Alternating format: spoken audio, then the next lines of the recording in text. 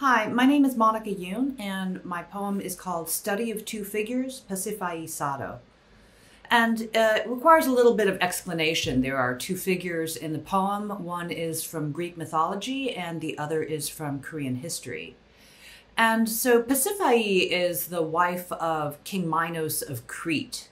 And the gods send a white bull from the sea, and King Minos is supposed to sacrifice it uh, to the gods, but instead he keeps it for his own herds. And in revenge, uh, the gods cause Pasiphae to fall in love with the bull.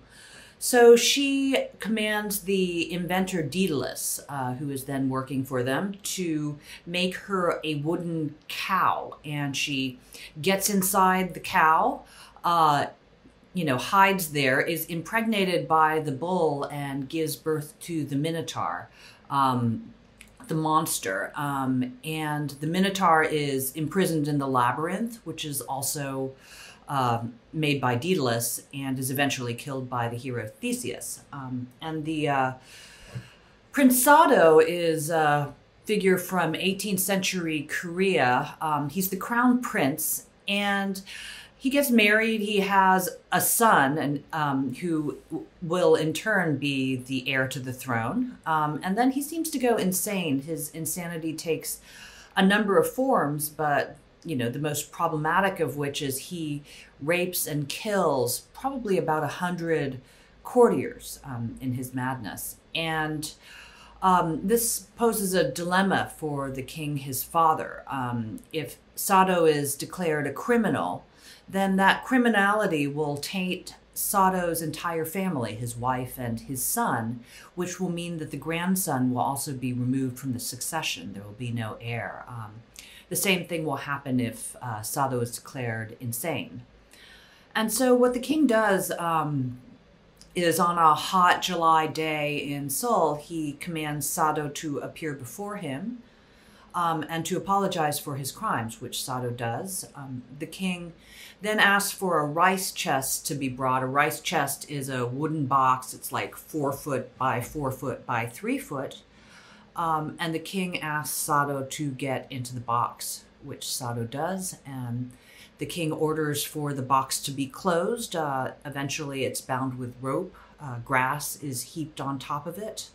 Um, and about eight days later, Sado dies. Study of two figures, Pasiphae Sado. One figure is female, the other is male, both are contained. One figure is mythical, the other historical. To the extent that one can be said to have existed at all, they occupy different millennia, different continents. But to the extent that one can be said to have existed at all, both figures are considered Asian, one from Colchis, one from Korea.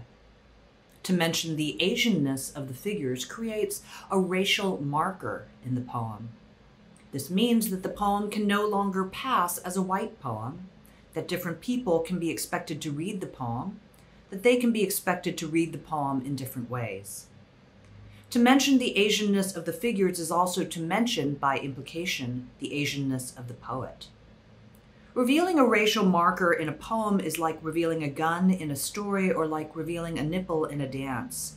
After such a revelation, the poem is about race, the story is about the gun, the dance is about the body of the dancer. It is no longer considered a dance at all and is subject to regulation. Topics that have this gravitational quality of aboutness are known as hot button topics, such as race, violence, or sex. Hot button is a marketing term coined by Walter Kiechel III in a September 1978 issue of Fortune magazine. The term evokes laboratory animals and refers to consumer desires that need to be slaked. The term hot button suggests not only the slaking of such desires, but also a shock or punishment for having acted on those desires, a deterrent to further actions pursuing such desires, and by extension, a deterrent to desire itself. Violence and sex are examples of desires and can be satisfied, punished, and deterred. Race is not usually considered an example of desire. Both the female and the male figures are able to articulate their desires with an unusual degree of candor and specificity. Both are responsible for many sexual deaths. The male figure says, When anger grips me, I cannot contain myself. Only after I kill something, a person, perhaps an animal, even a chicken, can I calm down. I am sad that your majesty does not love me and terrified when you criticize me. All this turns to anger. Your majesty here refers to the king, his father. The female figure is never directly quoted, but Pseudo Apollodorus writes that she cast a spell upon the king, her husband, so that when he has sex with another woman, he ejaculates wild creatures into the woman's vagina, thereby killing her. Although the punishment is enacted on the body of the woman, this punishment is meant to deter the king from slaking his desires. Both figures are angry at the king, but neither attempts to kill the king, which would be political. Instead, they displace this anger onto other unnamed deaths, which are considered sexual but not political. Both figures have spouses known for strategy, for self preservation in politically tumultuous times, times of many unnamed deaths. Both figures are counterfoils to their strategizing spouses, figures of excessive desire requiring containment. Both containers are wooden. Both containers are camouflaged with a soft, yielding substance, one with grass, one with fur. Both containers are ingenious solutions to seemingly intractable problems. One problem is political, one problem is sexual. They are both the same problem. They have the same solution. The male figure waits in the container for death to come. He waits for eight days. His son will live. This ensures the succession the frictionless transfer of power. The female figure waits in the container for the generation of a life. We do not know how long she waits. Her son will die after waiting in his own wooden container. This ensures the succession, the frictionless transfer of power. There are many artistic representations of both containers. The male figure's container is blockish, unadorned, a household object of standard size and quotidian function.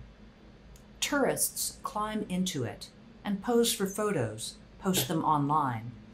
The cramped position of their bodies generates a combination of horror and glee.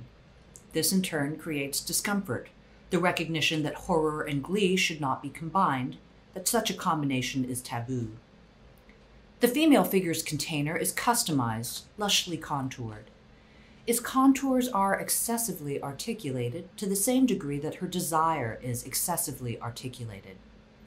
Artists depict the container in cutaway view, revealing the female figure within, awaiting the wild creature. The abject position of the female figure, on all fours, pressing her genitalia back against the hollow cow's genitalia, generates a combination of lust and revenge. This, in turn, creates discomfort, the recognition that lust and revenge should not be combined, that wild creatures and female figures should not be combined, that these combinations are taboo. Hot button topics are taboo because they generate discomfort. The male figure slakes his violent desires and is punished. The male figure also functions as a hot button, a means whereby the violent desires of tourists are slaked while generating discomfort in those tourists. The female figure slakes her sexual desires and is punished. The female figure also functions as a hot button, a means whereby the sexual desires of artists are slaked while generating discomfort in these artists. The tourist can climb into the rice chest. The tourist can pose for a photo in the rice chest. Then the tourist can climb out of the rice chest and walk away. The artist can look into the hollow cow. The artist can render the contours of the hollow cow, the contours of the female figure. Then the artist can walk away. Both containers allow the tourist and artist to touch the hot button, the taboo. The desire and the discomfort remain contained. Both containers allow the tourist and the artist to walk away. The male and female figures remain contained. Neither container, the rice chest, the hollow cow, appears to have any necessary connection to race. To mention race, where it is not necessary to mention race, is taboo. I have not mentioned the race of the tourist or the artist. The tourist and the artist are allowed to pass for white. The tourist and the artist are not contained. I have already mentioned the race of the poet, but to the extent that the poet is not contained, the poet is allowed to pass for white. I have already mentioned the race of the male and female figures. The male and female figures are contained. The rice chest and hollow cow are containers. The rice chest and the hollow cow are not the only containers in this poem. Colchis and Korea are containers in this poem. Asianness is a container in this poem. Race is a container in this poem. Each of these containers contains desire and its satisfaction. Each of these containers contains discomfort and deterrence. Each of these containers contains a hot button, a taboo. The tourist and the artist can enter each of these containers. The tourist and the artist can touch the hot button and walk away. Each of these containers separates the slaking of desire from the punishment of desire. Each of these containers is an ingenious solution to a seemingly intractable problem. They are the same problem, they have the same solution. Each of these containers ensures the frictionless transfer of power. Each of these containers holds a male or female figure the name of the male figure can be translated as Think of Me in Sadness. The name of the female figure can be translated as I Shine for All of You. Thank you.